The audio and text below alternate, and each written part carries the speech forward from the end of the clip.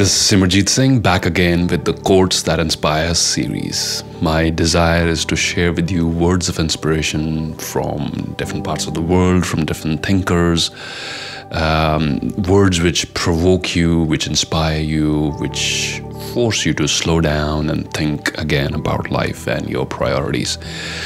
I think um, today's video is like two different quotations rolled into one from two different masters, from two different parts of the world, from two different eras altogether differently. One is from the famous psychologist Carl Jung, and the other one is from the Sufi master Jalaluddin Rumi. And the beauty of uh, these two very different set of words is how similar they are in their intent coming from two people who probably would have never met each other, probably came from very different cultures, but yet the essence of what they had to say remains the same. And that's what I love because it all connects all these great thinkers, all these great minds, you know, they probably all tune into a, a super conscious mind and derive their wisdom from that. So let's start with the first one coming from Carl Jung, who wrote, The shoe that fits one person pinches another. The shoe that fits one person pinches another. There is no universal recipe for living. And I think I've found this quotation by Carl Jung very apt at times when um, people send emails or ask experts about the ideal life. There is no ideal path that anyone else can tell you. There is no set path that you must walk on in order to qualify as a life that was lived well or, or in order to qualify being called successful. Because what what works for one person might not work for another. And therefore it is the utmost responsibility of every human being to figure out your own way to figure out that path which is meant for you which utilizes your strengths and which will enable you to flourish and will give you most peace and harmony. If you're an entrepreneur, perhaps you would feel suffocated working for someone else or living on a salary. And, and, and because that's who you are, that's, that's your path, that is your recipe for living. If you're an entrepreneur, you must unleash that entrepreneurial instinct and do something on your own. And if you suffocate yourself into a job just because you did not have the courage to follow your own path, you're going to lead a life of misery.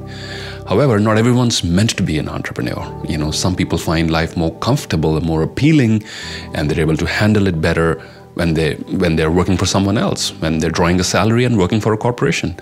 And um, a person like that would find it very hard to survive as an entrepreneur. You know, he might find it very difficult on a day-to-day basis to figure out everything for himself or herself they'd be better on better off being part of a system of an ecosystem where a lot of things are taken care uh, taken care of by someone else and they can focus on the work they need to do. So the shoe that fits one person pinches another. There is no your universal recipe for living which means figure out your own recipe experiment think um, take a few wrong steps if you have to in order to arrive to the truth but uh, please, please, please figure out your own path, the one that pleases you the most. The second one, coming from the Sufi master Jalaluddin Rumi, again ties into this one. And uh, Rumi writes, Don't be satisfied with the stories, how things have gone for others. Unfold your own myth. Don't be satisfied with stories, how things have gone with others unfold your own myth. And I think the beauty about this second uh, set of words from Jalaluddin Rumi is once someone becomes successful, suddenly there's a huge amount of interest in how did this person get there? What's his life story? What sort of actions did he take? What sort of steps on his journey? In the desire to replicate that journey, in the desire to follow those footsteps, in the desire to recreate that success.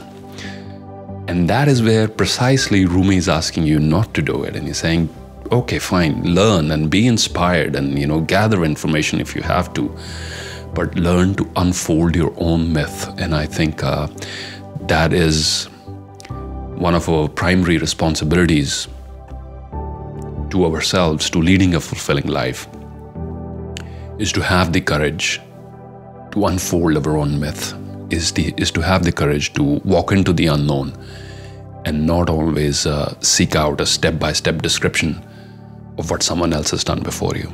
So, I leave you in summary with these two thoughts once again, with the only intent that you would, after you finish this video, pause and spend some time on figuring out your own journey and um, with the desire to unfold your own myth. The shoe that fits one person pinches another. There is no universal recipe for living, Carl Jung, and do not be satisfied with the stories, how things have gone for others. Unfold your own myth, Jalaluddin Rumi.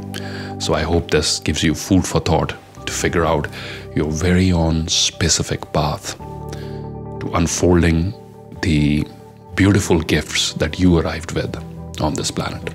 Thank you for watching. Bye bye.